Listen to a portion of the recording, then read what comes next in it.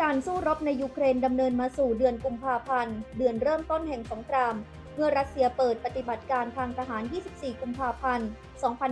2565 ใกล้ครบ 1 ปีเต็ม ต่างฝ่ายต่างสูญเสียทรัพยากรมหาศาล การเจรจาเพื่อยุติความขัดแย้งยากที่จะเกิดขึ้น เมื่อสหรัฐและชาติพันธมิตรยังคงยั่วยุด้วยการส่งอาวุธไปให้ยูเครนไม่หยุด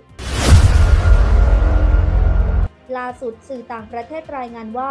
นายไอกอร์ซอฟควารองหัวหน้าแห่งสำนักงานของประธานาธิบดียูเครน กล่าวกับสำนักข่าวบลูมเบิร์กของสหรัฐว่า การสู้รบอย่างเข้มข้นในยูเครนทำให้กระสุนเริ่มหมด คลังอาวุธไม่สามารถเติมได้ทันเวลา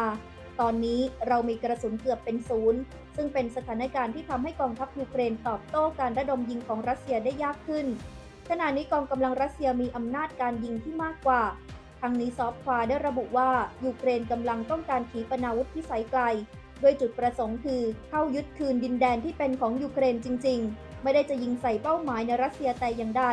ส่วนในเรื่องเครื่องบินขับไล่นั้นก็มีเหตุผลหลายประการ ที่ยูเครนสมควรที่จะมีแต่เนื้อสิ่งอื่นใดนั่นคือ เครื่องบินขับไล่มีประสิทธิภาพที่ดีมากในการสกัดกั้นขีปนาวุธ ได้แสดงความหวังถึงการประชุมแรมสไตล์ที่กำลังจะมีขึ้น ในวันที่ 14 กุมภาพันธ์นี้ว่าตนหวังว่าจะได้เห็นการสนับสนุนอาวุธจากตะวันตก ให้ยูเครนในจำนวนที่มาก และเลิกสนใจปฏิกิริยาของรัสเซีย ต่อการส่งมอบดังกล่าวได้แล้ว เพราะความช่วยเหลือทางทหารที่ตะวันตกมอบให้ตอนนี้ ยังถือว่าสายเกินไป น้อยเกินไป และช้าเกินไป ไม่พลาดข่าวสำคัญระดับท็อปได้ง่าย ๆ ทุกที่ทุกเวลากับแอปพลิเคชัน Top News รับการแจ้งเตือนข่าวสารใหม่ แชทคุยหน้าไลฟ์ได้ ดาวน์โหลดได้แล้ววันนี้ทั้ง App Store และ Play Store